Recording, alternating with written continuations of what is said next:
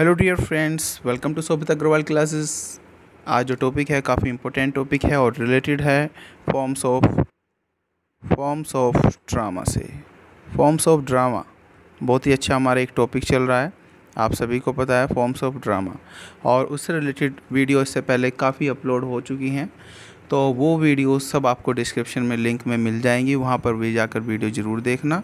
Forms of poetry से पहले complete हो चुकी है फॉर्म्स ऑफ़ ड्रामा इसके बाद फॉर्म्स ऑफ़ ड्रामा में एक लेक्चर और डलेगा वन एक्ट प्ले फिर ये कंप्लीट हो जाएगा। फिर इसके बाद हम फॉर्म्स ऑफ़ प्रोज पर चलेंगे, उसमें नॉवेल्स पढ़ेंगे अलग अलग तरह के। तो आप सोबिता अग्रवाल क्लासेस के साथ बने रहें। ये T G T P G T की स्पेशल सीरीज़ चल रही है और ये हेल्प आपकी T G T P G T और सभी एग्ज़ाम जो होते हैं, चाहे वो N V S K V S L T grade सभी एग्ज़ाम में, इवन एल टी ग्रेड में तो वो बहुत ज़्यादा हेल्प करेगा। तो इन वीडियो को आप बिना स्किप किए देखें, अपना सारा एक्सपीरियंस अपना चैनल पर शेयर करता हूँ।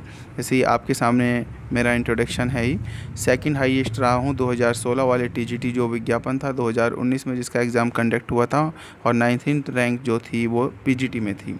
और टीजीटी 2013 में भी सिलेक्ट हुआ था वेटिंग में। चलिए स्टार्ट करते हैं। ड्रामेटिक मोनोलॉग क्या होता है? इसमें कुछ हम इंपॉर्टेंट एम भी डिस्कस करेंगे बाद में। पहले फुल डिटेल फिर उसके बाद में एम देख लीजिएगा ड्रामेटिक मोनोलॉग होता क्या है? वन वन वन एक एक चीज़ को एक्सप्लेन करते चलेंगे। मोनोलॉग का लिटरेरी मीनिंग क्या है? डायलॉग विद सेल्फ अपने आप से बात करना। In dramatic monologue there is only one character who express but who expresses out his inner feeling thoughts through a long speech देखिए ड्रामेटिक मोनोलो में एक कैरेक्टर होता है जो अपने एक्सप्रेस करता है अपने अंतर की जो फीलिंग होती है, एक लॉन्ग पोइटिक स्पीच के द्वारा। And in this speech he opens out his mind and heart and soul in he speech में ये अपना माइंड जो हार्ट है, वो ओपन करता है with a perception that nobody hears him और ये इस बात को सोचता है कि उसे कोई नहीं सुन रहा होगा। और हीयरर इज़ पैसिव हीयरर या फिर अगर सुन भी रहा है तो उसकी तरफ़ से कोई भी कोई पैसिविटी मतलब उस की तरफ़ से कोई एक्टिविटी ना हो और वो नहीं उन आंसर उन बातों का आंसर दे, सामने से जवाब ना दे। वो होता है dramatic monologue with no reaction from his side aim of dramatic monologue is character study देखिए, जो ड्रामेटिक मोनोलो का जो एम होता है, वो कैरेक्टर स्टडी का इसका एम होता है। देख लीजिएगा और देखते हैं। और साइकोलॉजिकल एनालिसिस इसका जो एम होता है कैरेक्टर स्टडी के साथ साथ साइकोलॉजिकल जो एनालिसिस कैरेक्टर का करना चाहता है, इस ड्रामेटिक मोनोलो के माध्यम से are solo speaker on the stage जो स्पीकर जो होता है, अकेला बोलने वाला जो स्टेज पर जो व्यक्ति होता है, उसके जो अंदर में जो चल रहा है मेंटली जो उसकी बातें उसके अंदर चल रही हैं, वो बताता है। इनर मोस्ट फीलिंग वो शेयर करता है।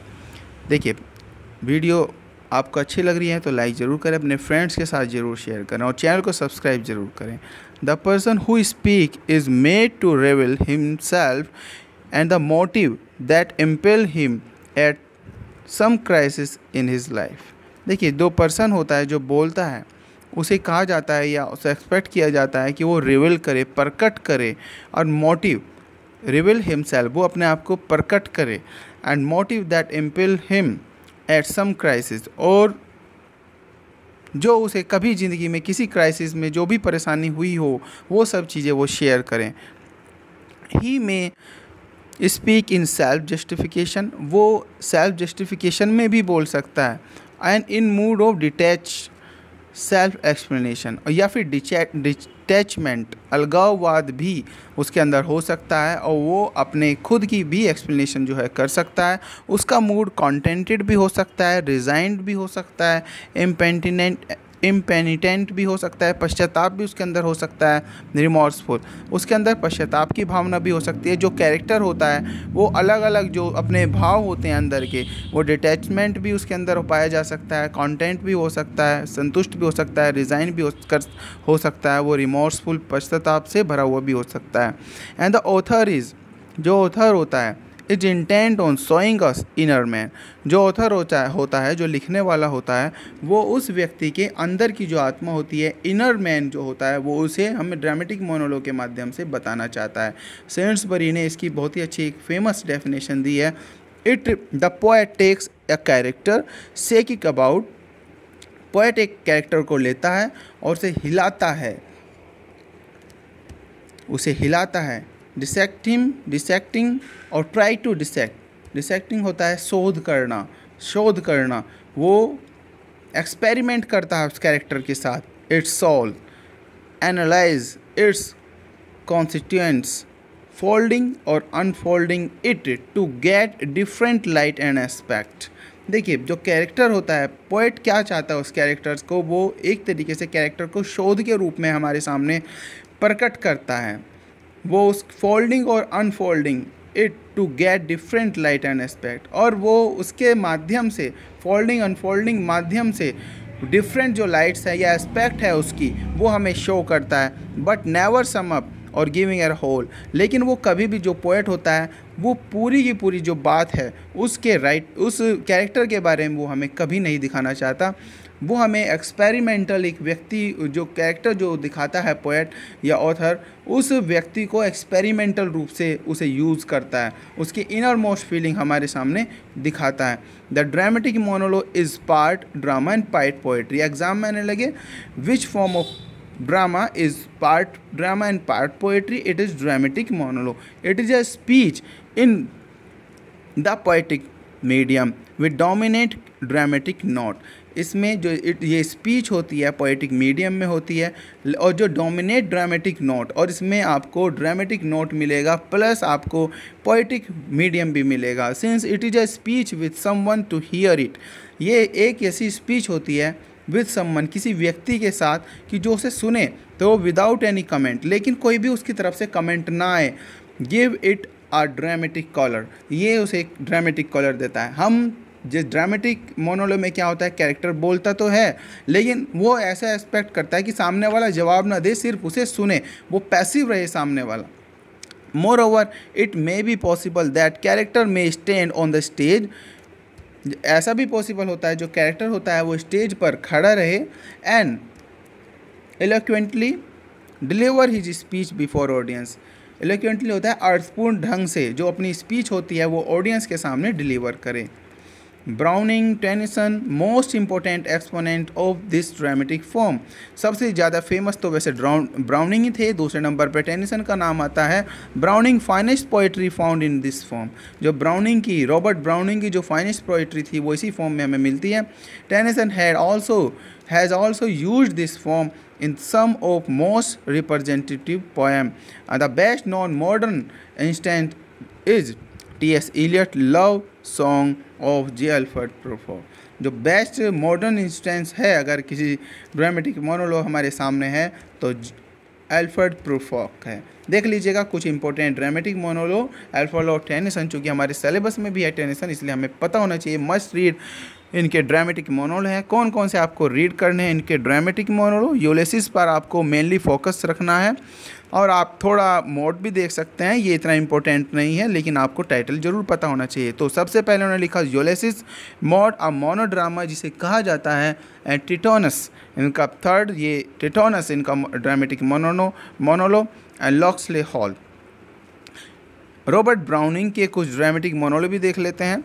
रिंग एंड द बुक ये इसमें, ये सीरीज़ है टेन मोनोलो की sludge sludge and medium sludge and medium Bishop Blougram apology Andrea del Sarto epistle of Karshish man and women volume इसमें कई सारे हमें मोनोलोज मिलते हैं। Rabbi Ben Ezra my last duchess Bishop order his tomb soliloquy of Spanish cluster, Calvin upon set bus, last ride together ये Caliban upon set बस बहुत ही important है क्योंकि विलियम शेक्सपियर के टेम्पेस्ट से इन्होंने यहाँ पे रॉबर्ट ब्राउनिंग ने रेफरेंस लिया है।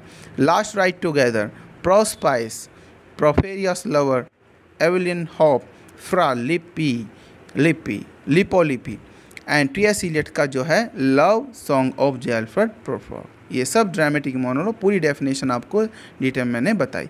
चलिए अब कुछ एम भी इसके डिस्कस कर लेते हैं। ड्रामेटिक मोनोलॉग क्या होता है?